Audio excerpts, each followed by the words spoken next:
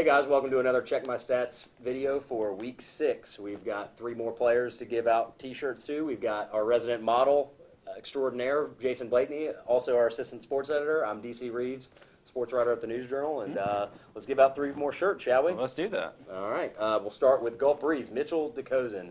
Huge game, 321 yards, four touchdowns, and most importantly, gets Gulf Breeze their first win, snaps a 22 game losing streak. Yeah, that's that's impressive. You know that that kid, he, he's been strong all year. Doesn't get a whole lot of credit because he's playing on a Gulf Breeze team that has struggled at times.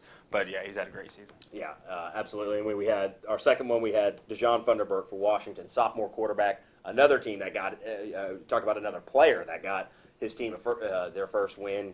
He r- passes for 88 yards, rushes for 127 yards, scores both touchdowns for Washington in a 13-7 win over Bay. Yeah, and uh, our final one is uh, Ian Lockwood from Navarre playing his last high school football game because he's uh, slipped back into a little brain cancer. He he had he had uh, diagnosed with brain cancer last year, went into remission earlier this year. Now it's back. He's going to go to Gainesville. He's going to get some chemotherapy and some radiation. Scores two touchdowns tonight in his last game. Has the entire stadium wearing Live Strong. The guy's a great example, and uh, it's great to send him out on a, on a winning note. Yeah, huge performance from him. Our prayers obviously go out to him and his family, and and uh, you know uh, to get well soon, and and you know uh, we'd love to see him back out there. But Right. you know, hey, you talk about a gutsy performance. Somebody, you know, there ain't a lot of kids that can do that, and we won't we won't have another kid on this show on a on check my stats. Uh, we won't have another player of the week that will be able to you know accomplish Right. what he was been able to accomplish. Yeah, you know, it's the kind of thing that uh, it's kind of one of those tearjerker ESPN specials where you look at a kid and,